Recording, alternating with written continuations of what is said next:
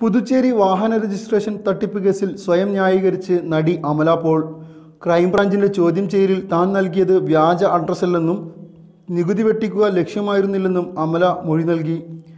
ജനുവരി ഒൻപതിന് അമലയുടെ മുൻകൂർ ജാമ്യ ഹർജി പരിഗണിച്ച ഹൈക്കോടതി ചോദ്യം ചെയ്യലിന് ജനുവരി പതിനഞ്ചിന് ഹാജരാകാൻ ആവശ്യപ്പെടുകയായിരുന്നു.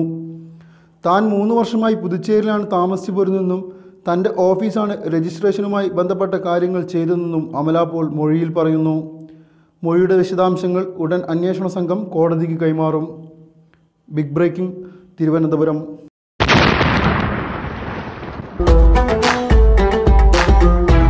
പ്രിയരെ രാമനാട്ടുകരയിൽ അന്താരാഷ്ട്ര ഷോപ്പിംഗ് വിസ്മയം തീർത്ത ദുബായ് ഗോൾഡൻ ഡയമണ്ട്സ് നാലാം വയസ്സിലേക്ക്.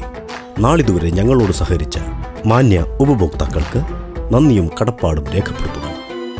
ഏറ്റവും കുറഞ്ഞ പണിക്കൂലിയും ഹൃദ്യമായ സേവനവും നൽകി ചുരുങ്ങിയ കാലയളവിൽ രാമനാട്ടുകരയുടെ അഭിമാനമായി മാറിയ ദുബായ് ഗോൾഡൻ ഡയമണ്ട്സ് മൂന്നാം വാർഷികത്തോടനുബന്ധിച്ച് രണ്ടായിരത്തി പതിനേഴ് ഡിസംബർ ഇരുപത് മുതൽ രണ്ടായിരത്തി പതിനെട്ട് ജനുവരി ഇരുപത്തിയൊന്ന് വരെ പണിക്കൂലിയിൽ പ്രത്യേക കിഴിവും ഓരോ പർച്ചേഴ്സിനും ഉറപ്പായ സമ്മാനങ്ങളും നൽകുന്നു.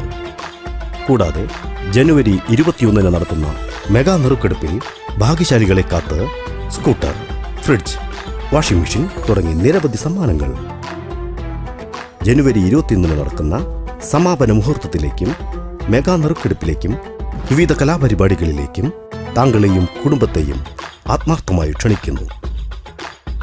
Dubai golden diamonds Calicut road Ramanattukara.